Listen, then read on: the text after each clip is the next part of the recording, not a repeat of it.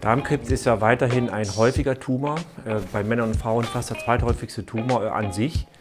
Und äh, da er so häufig ist, macht es auch Sinn, sich im Vorfeld Gedanken zu machen, ob man diesen Tumor verhindern kann.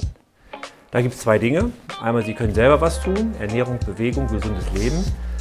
Aber wir haben auch gelernt in den letzten Jahren, dass eine endoskopische Vorsorge, also eine Vorsorgekoloskopie, hier einen sehr großen Stellenwert hat. Mit einer Vorsorgekoloskopie kann man das Risiko, dass Sie an einem Darmkrebs erkranken, um fast 50 Prozent reduzieren. Bei einer Vorsorgekoloskopie, einer Darmspiegelung, schauen wir mit einem Endoskop vorne eine Kamera äh, in den Dickdarm das ist der letzte Teil des Darms.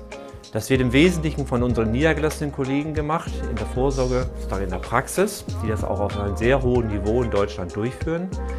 Und wir suchen zum einen natürlich, ob bereits ein Tumor vorliegt, aber viel wichtiger ist, dass wir Vorstufen eines Tumors suchen, sogenannte Polypen. Die kann man entfernen und wenn man die entfernt hat, dann kommt an dieser Stelle aus den Polypen halt kein Karzinom mehr. Und aus kleinen Polypen werden große Polypen und aus großen Polypen dann Tumoren. Damit kann man letztendlich eine Operation verhindern.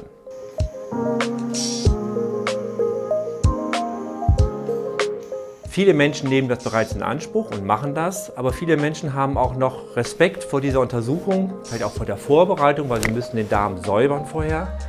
Das ist aber unbegründet. Mittlerweile kann man die Untersuchung mit einer Schlafspritze, mit einer medikamentösen Sedierung so angenehm gestalten, dass Sie da fast nichts vermerken.